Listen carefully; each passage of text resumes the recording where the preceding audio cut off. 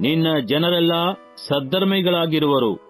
ನನ್ನ ಪ್ರಭಾವಕ್ಕೋಸ್ಕರ ನಾನು ನೆಟ್ಟ ಸಸಿಯಾಗಿಯೂ, ನನ್ನ ಕೈ ಸೃಷ್ಟಿಸಿದ ಪ್ರಜೆಯಾಗಿಯೂ ದೇಶವನ್ನು ಸದಾ ಅನುಭವಿಸುವರು. ಚಿಕ್ಕವನಿಂದ ಒಂದು ಕುಶಲವಾಗುವುದು, ಅಲ್ಪನಿಂದ ಬಲವಾದ ಜನಾಂಗವಾಗುವುದು.